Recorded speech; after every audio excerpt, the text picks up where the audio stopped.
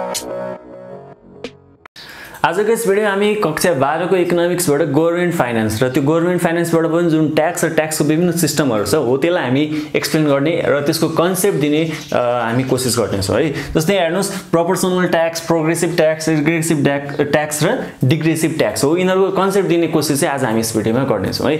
अब यो कन्सेप्टलाई बुझाउनको लागि एउटा उदाहरण एउटा टेबल हामीले प्रस्तुत गरेका छौँ जस्तो इन्कम यहाँ के लेखेको छ बिस हजार चालिस हजार साठी हजार अस्सी हजार। ठिक छ यो इन्कम भयो है। अब कोही मान्छेको इन्कम धेरै हुन्छ कोही मान्छेको इन्कम थोरै हुन्छ। यहाँ कोही मान्छेको अस्सी हजार छ भने कसैको बिस चालिस साठी जति पनि हुन सक्यो है। अब प्रपोर्सनल ट्याक्समा कसरी ट्याक्स लगाइन्छ प्रोग्रेसिभ ट्याक्समा कसरी लगाइन्छ रिग्रेसिभ र डिग्रेसिभमा कसरी ट्याक्स लगाइन्छ हो त्यो कुरा चाहिँ आज हामी यहाँ डिटेलमा पढ्छौँ है। जस्तो प्रपोर्सनल ट्याक्स भनेको चाहिँ प्रपोर्सनल भनेको सबैलाई बराबर कि जस्तो यहाँ यहाँ हेर्नुहोस् त जस्तो दस पर्सेन्ट भन्यो दस पर्सेन्ट भन्यो दस पर्सेन्ट भन्यो दस पर्सेन्ट भन्यो है। प्रपोर्सनल ट्याक्स सिस्टममा चाहिँ के हुँदो रहेछ भने मान्छेले जतिसुकै कमाओस् है। एउटा प्राकृतिक व्यक्तिहरू अथवा कम्पनीहरूले जतिसुकै कमाओस् होइन? ट्याक्स चाहिँ कसरी लगाइन्छ? सबैलाई दस पर्सेन्ट दस पर्सेन्ट दस पर्सेन्ट दस पर्सेन्ट एउटै कर लगाइन्छ एउटै रेट लगाइन्छ है। अब हेर्नुहोस् बिस हजार तिनलाई दस पर्सेन्ट यानि कि दुई हजार तिर्छ। चालिस हजार पढ्नेलाई दस पर्सेन्ट चार हजार तिर्छ। साठी हजार कमाउनेलाई दस पर्सेन्ट छ हजार तिर्छ। अस्सी हजार कमाउनेलाई दस पर्सेन्ट आठ हजार तिर्छ। यानि कि सबैले द दस पर्सेन्टको दरले आफ्नो इन्कमबाट त्यति ट्याक्स तिर्छन्। भने यस्तो खालको सिस्टमलाई के भनिन्छ? प्रपोर्सनल ट्याक्स भनेपछि यहाँ धनी गरिब कसैलाई छुट्याइँदैन।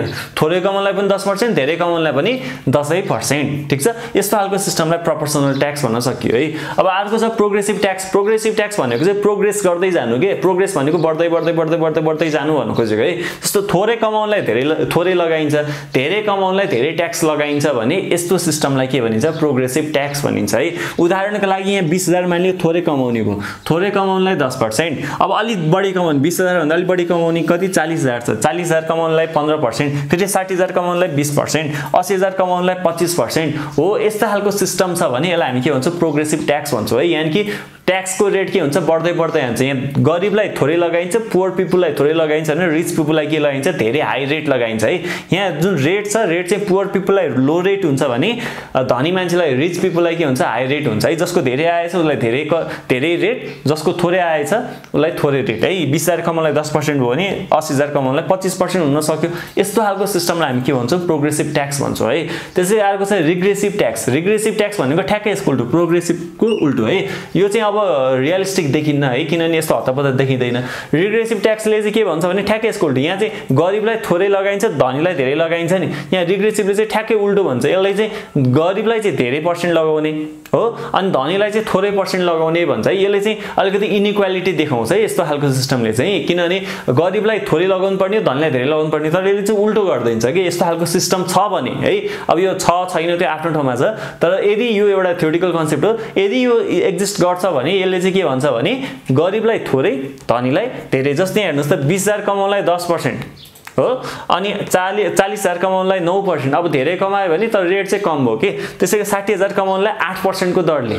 त्यसै गरी अस्सी हजार कमाउनलाई सात पर्सेन्टको दरले भनेपछि गरिबलाई चाहिँ धेरै रेट लगाइन्छ धेरै पर्सेन्टेज लगाइन्छ भने धनीलाई चाहिँ के गरिन्छ? थोरै रेट लगाइन्छ भने यो सिस्टमलाई हामी के भन्छौँ? रिग्रेसिभ ट्याक्स भन्छौँ है। त्यसै गरी अर्को छ डिग्रेसिभ ट्याक्स डिग्रेसिभ ट्याक्स भनेको चाहिँ तपाईँले के बुझ्नु पर्यो भने नि डिग्रेसिभ ट्याक्समा चाहिँ तपाईँले के बुझ्नु पऱ्यो भने पहिला सुरु यो यो चाहिँ प्रोग्रेसिभ र प्रोपोर्सनलको मिक्स हो भनेर बुझ्नुहोस् है। फर इक्जाम्पल यहाँ हेर्नुहोस्। बिस हजारसम्म कमाउनेलाई दस पर्सेन्ट ठिक छ? त्यसै गरी चालिस हजार कमाउनेलाई कति? पन्ध्र पर्सेन्ट। ठिक छ?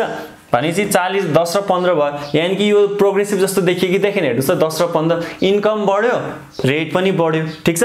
अनि साठी हजार कमाउनलाई बिस पर्सेन्ट अझै बढ्यो। यानि कि यो त प्रोग्रेसिभ जस्तो देखियो नि यहाँ हेर्नुहोस् त ठ्याक्कै यो प्रोग्रेसिभ जस्तो देखिएन। इन्कम बढ्यो रेट पनि बढ्यो। अब के हुन्छ भने एउटा सर्टेन पोइन्ट एउटा सर्टेन लेभल पुगिसके पछाडि चाहिँ के हुन्छ भने मान्छेले जतिसुकै कमाओस् साठी हजार अस्सी हजार एक लाख जतिसुकै कमाओस् अब रेट भनेको बिस पर्सेन्ट मात्रै रहन्छ। बिस पर्सेन्टभन्दा बढी बढ्दैन। यस्तो खालको सिस्टम छ यसलाई के भन्छ डिग्रेसिभ सिस्टम। अब रेट बढ्दैन बिसको बिस कन्सट्यान्ट छ भने अब प्रपोर्सनल जस्तो भइदियो कि यहाँ हेर्नुहोस् त दसको दस छ नि यहाँ बिसको बिसै रह्यो। यसो हेर्दा प्रपोर्सनल पनि भयो प्रोग्रेसिभ पनि भयो। पहिला सुरु रेट बढ्दै बढ्दै बढ्दै जान्छ इन्कम बढ्यो रेट पनि बढ्दै जान्छ र एउटा सर्टेन पोइन्टमा पुगिसके पछाडि यसलाई मानिलियो बिस पर्सेन्ट छ है यो साठी हजारको एउटा रेन्ज छ। यो साठी हजारसम्म कमाइसके पछाडि चाहिँ अब त्योभन्दा बढी जतिसुकै कमाओस् बिसै पर्सेन्ट लगाइन्छ। सबैलाई बिसै पर्सेन्ट लगाइन्छ भने यस्तो खालको कन्सेप्टलाई के भनिन्छ? डिग्रेसिभ ट्याक्स सिस्टम भनिन्छ।